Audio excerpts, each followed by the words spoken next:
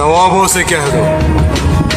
पठान आए। हैं या सल्तनत छोड़ दे, या सर झुकाना सीख ले।